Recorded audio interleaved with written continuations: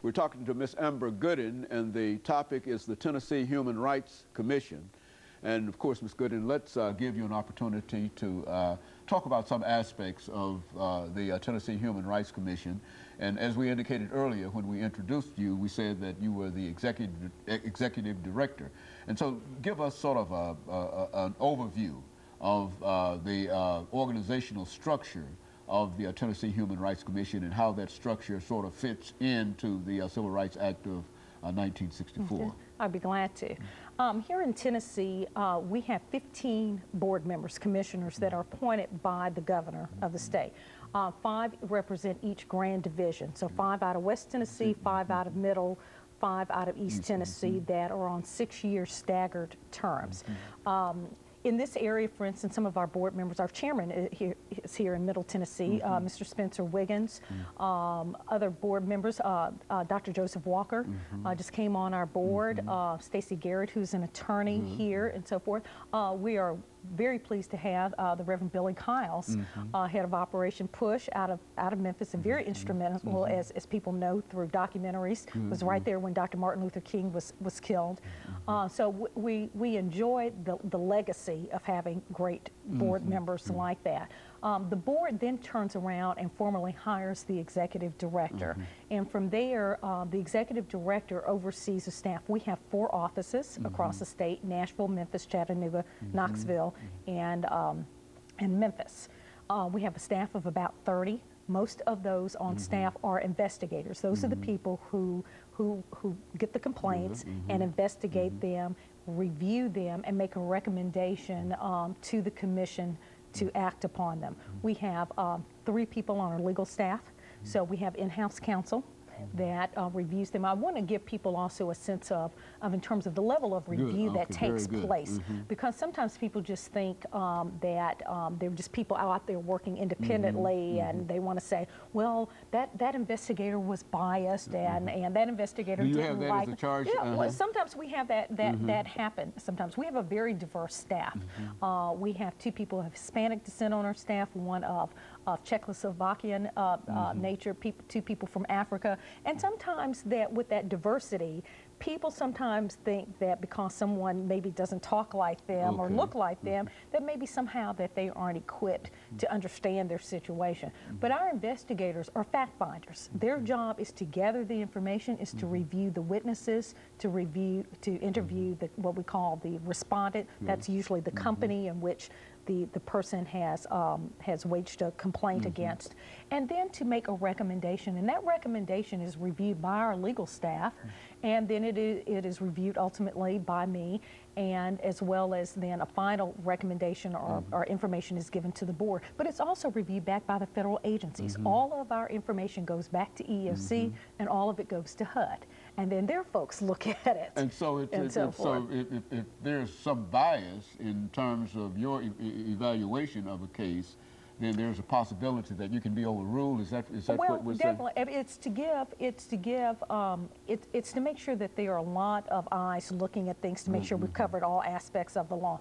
I will say that that I have not seen in the year and a half that I've been there, and I really heard it before. Where really uh, an investigator has an opportunity mm -hmm. to mm-hmm. have a bias because you have to look at things in the strict letter of the law. Mm -hmm. So. Um, when somebody files a complaint, what they do is that they fill out a complaint form. They can call our office, mm -hmm. go to our website, have one mailed to them, mm-hmm. and that information is taken down. They're going to list witnesses, things mm -hmm. like that, mm-hmm. and then we're going to send out a formal letter to that company or let's say, or to that landlord mm -hmm. in the mm-hmm. case of housing or something that's, like that's that. For them from to, your office. From our office. Mm -hmm. And um, many times when I have spoken at forums, um, I spoke at one in Jackson not long ago in which there were a number of employers mm -hmm. there who were talking about the, the cost of diversity. Mm -hmm. And one of the things I spoke about was, was that when companies don't put in an internal complaint process mm -hmm. in, by the time when somebody files a complaint with us, they're having to spend a lot of money mm-hmm. because they have to, by law, answer that charge. They mm-hmm. can't look at it and say, oh, that's Just forget it. That's you, uh -huh. forget it. By uh the uh-huh. time it gets to us, they've got to answer mm -hmm. it. And we have mediated a number of cases, mm. which is a real strong program that we have with us where people are not necessarily admitting guilt, mm -hmm. but where the parties want to get together and work it out. And you would be surprised that sometimes that it has only taken an apology Mhm. To- from a supervisor Uh-huh. uh, Okay. to somebody, Mhm. um, that a misunderstanding. So not everything results in monetary damages and so forth, uh, but many times through mediation. And what I find when I speak so passionately about that is, is that I think many times that people have forgotten how to sit down and talk and listen.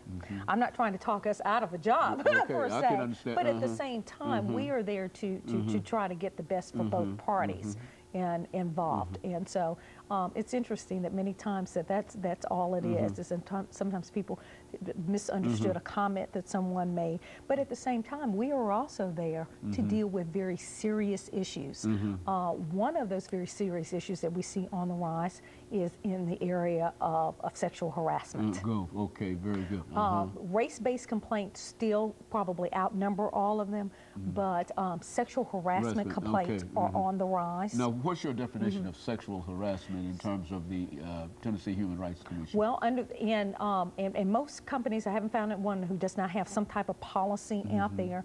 But it usually what it what it entails is where someone ha- that that comments have been made or or gestures and so forth that have made that person feel uncomfortable. They have expressed that, and it still con- Continues. continues, and, Okay, and, and so forth. Um, uh, uh, a case that's already been settled some time ago, but a good, a good one was where the person filed a complaint with her mm-hmm. employer uh, that her, that a person was, she felt was harassing mm-hmm. her, mm-hmm. would call her, things like that, try to corner her outside the workplace, things like that. The company responded by making that person her boss. That was such an Wa- wa- wa- was that uh, was that uh, the way they wanted to respond, or were they trying to deliver a message? Or is- It's, it's not real clear. Sometimes Mm. people, I have to say, are just ignorant. Mm-hmm. And many times that, um, I think this was in a case in a manufacturing situation, Mm-hmm. very few women, so to speak. Um, and that sometimes people just don't know that instead of taking it lightly, Mm-hmm. Okay. they, they responded in a, in a frivolous manner, Mm-hmm. but that was considered retaliation because she filed a complaint and she had a right Mm-hmm. to have that complaint investigated. It was responded back with essentially as if we don't think there's any merit Mm-hmm. to that. Well, if that person was made her boss, that person uh, essentially accosted her Mm-hmm. Okay. and so forth, and she filed a complaint, and it resulted in um, a, a very sizable uh, settlement You know, on, well, on her behalf. And, and, and of course, we've got about two and a half minutes. Mm-hmm. Let's let's look at and since you mentioned uh, monetary settlements, Mm-hmm. uh, uh, are you at liberty to talk about some of these monetary se- settlements? What, what has been the uh, highest monetary settlement that you've had uh, in, in, in, in, your administration? Um, in my administration, I, um, I believe it was that one, and that was over um, uh, close to 100,000. Mm-hmm. so you ha- you actually have uh, uh, complaints that are monetary complaints Mm-hmm. that uh, will uh, draw a fine of hundred, at least a hundred thousand dollars. Well, and that, that was an agreement, that was an agreement instead of going to, to, to, to court that the parties agreed upon. Uh, she had her job back, the other person was fired. Uh, you have to look at things in terms of damages and, and, and so forth and what action a company has taken to try to rectify uh, a situation. Not everything results in when we see on the news these big, you know, hundred million dollar, uh-huh. you know, types of, of awards. I always try to caution people, and we also try to make sure that we are not lawyers for either party. Mm-hmm. What we try to do is is we we have attorneys who are there for the commission and try to advise what was in the best interest, hopefully, Mm-hmm. Fairness of more fairness, than exactly. Mm. And what's fair in one situation may not be fair in in in another. So. Mm-hmm. Um, we always, you know, trying to get people to look at what their own circumstance and what their own goal is. Mm-hmm. Some people have accepted, for instance, that um, in, a, in a case that involved uh, a handicapped individual, instead of the uh, person um, giving him money, he Mm. wanted money donated to an agency that trains seeing eye dogs. And that was that was reward So enough that for was his reward. That, Uh-huh, exactly, uh-huh. exactly. Okay, we've got about 54 seconds. Sure. Uh, let's uh, have you to make uh, some final statements Okay. in reference to uh, that within the last 50 seconds. Well, thank you. Um, I'd just like to close with um, that the, the, the whole purpose and the reason that the Tennessee Human Rights Commission uh, was ever enacted came out of the federal 1964 mm-hmm.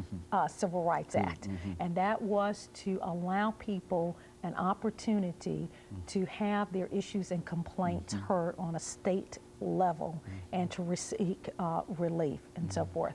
Um, the, racism is still there. Many times people don't like to think that it is, but it's it's it's there. Uh, it's uh, it's growing, especially in the areas of housing as our population becomes more diverse. Okay, And there are ways in which we continue to need to educate and Okay. eradicate. And very this. good. And of course, uh, Ms. Gooding, uh, we apologize for having Well, to uh, call you. an end to this, but let me encourage our audience to tune in again next week for another informative edition of Comments. Thank you and good morning.